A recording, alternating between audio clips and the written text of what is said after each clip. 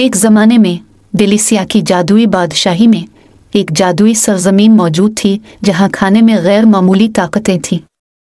डेलिशिया के देहातियों को जादुई अज्जा की कसरत से नवाजा गया। एक के पास खसूसी सलाहियतें देने या नाकाबिल यकीन तब्दीलियाँ पैदा करने की मुनफरद सलाहियत है। डेलिशिया के मरकज में एदी कॉलेड्रंस ब्लेसिंग नामी एक आजिज होटल खड़ा था, जिसे अलरिक नामी एक होनहार शेफ चलाता है।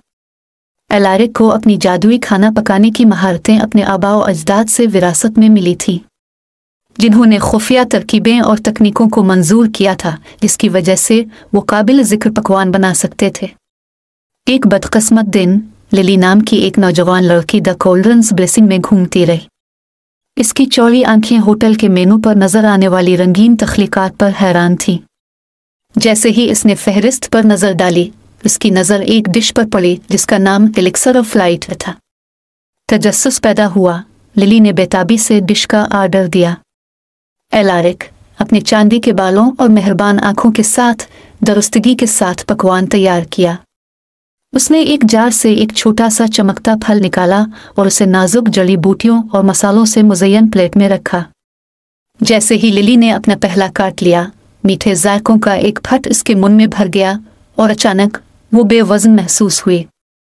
एक हमते हुए, लिली अपनी सीट से उठी और ज़मीन के ऊपर मनला दी। वो खुशी से हँसी, इसके बाल उसके गिर्द तीर रहे थे।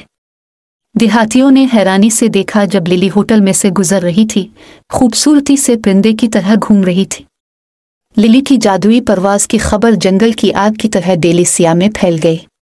ज़िंदगी के तमाम शुभों से ताल्लुक रखने वाले लोग दी कॉलेड्रेंस ब्लेसिंग के लिए जौक दर जौक आते हैं, जो एलो के जादुई पकवानों के अजायबात का मज़ा चखने के लिए बेचैन थे। होटल जोश खरूश से गूंज उठा क्योंकि देहाती जादुई दावतों में शामिल होते थे, जिसने उन्हें गैर मामूली सलाहियतें अता की थी। एलारिक के मेनू में तोसी हुई, जिसने जिन्नात की ताकत जैसी डिशेस पेश की, जिसने बेपना ताकत अता की विस्पर ऑफ़ द वुड्स, जिसने जानवरों के साथ बातचीत करने की सलाहियत अता की, और इनविजिबिलिटी कैसरोल, जिसने मुख्तसर मुद्दत के लिए किसी को पोशीदा बना दिया। ताहम, जादुई खाने की मकबूलियत ने गैर इरादी नतज को जन्म दिया। हसत और लालच कुछ लोगों के दिलों में घुस गया, क्योंकि उन्होंने ज़ाती फ़ायदे के लिए परफितन तरकीबों पर इजारा दारी कायम करने की कोशिश की। एक रात, डाकुओं के एक ग्रुप ने दी कॉलेड्रंस ब्लेसिंग पर छापा मारा जिसका इरादा अलिरिक के खुफिया अज्जा और तरकीबें चोरी करना था। हौसले के बगैर अलिरिक ने अपनी पाक महारत के साथ मुकाबला किया। उसने मुट्ठी भर चमकते हुए मसालों को पकड़ा और हुआ में उड़ा दिया। कमरा एक अंधी रोशनी से भर गया जब मसाले घूमते हुए भनवर में तब्दील हो गए। भनवर से एक बहुत बड़ा सरपरस्त उभरा जो मुकम्मल तौर पर खाने से बना, कटलरी और बर्तनों से लैस था। फ़ूड गार्डियन ने घुसने वालों से दी कॉलरोन की नेमत का दिफा करते हुए ज़बरदस्त मुकाबला किया। इसके हर एक झूले और जादुई जायके के फटने के साथ डाकुओं को हुआ में अलिफारती हुए शिकस्त खुर्दा और जलील कर दिया गया।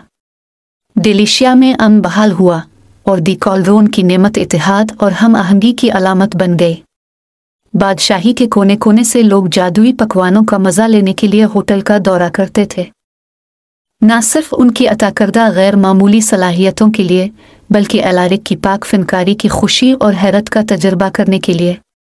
इस दिन के बाद से अलारिक मज़ेदार और दिलफेर पकवान तैयार करता रहा। इस बात को यकीनी बनाते हुए कि खाने का जादू हमेशा के लिए डिलीशिया के लोगों के लिए खुशी और इतिहाद लाएगा। और जहाँ तक लिली का ताल्लुक है, वो दी कॉलड्रोन की नेमत की मुस्तकिल रिहायशी बन गई। हमेशा के लिए होटल में अलिफारती चली गई। इसका दिल इस जादुई खाने के लिए तशक्र से भर गया जिसने इसकी ज़िंदगी बदल दी थी।